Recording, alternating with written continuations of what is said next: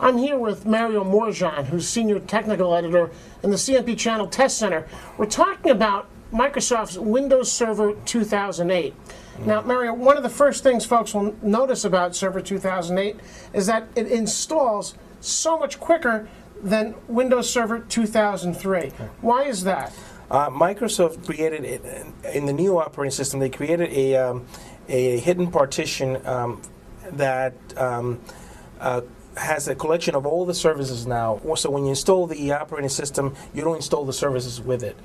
Uh, you can activate individual services, and that makes the, ins- the install process much faster.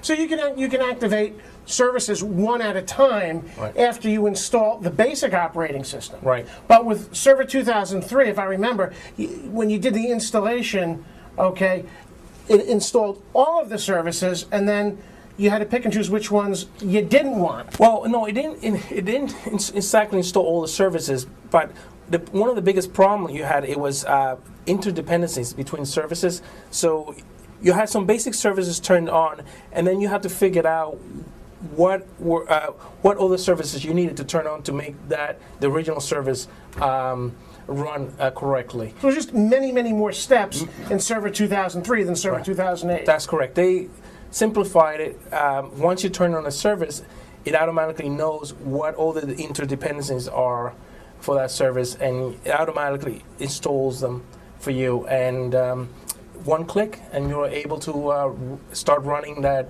um, that server with the appropriate service, with, without any um, without any hiccups. It's, fair to say that um, if it if it took uh, an hour to install Server 2003, it might take 15 minutes to install Server 2008. Oh yes, absolutely. Okay, Yep. great.